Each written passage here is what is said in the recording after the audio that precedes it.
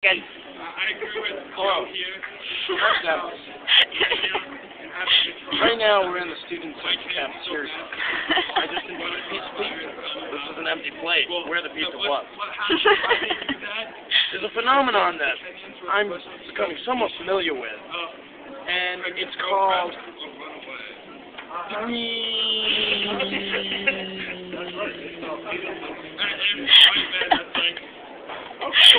you done?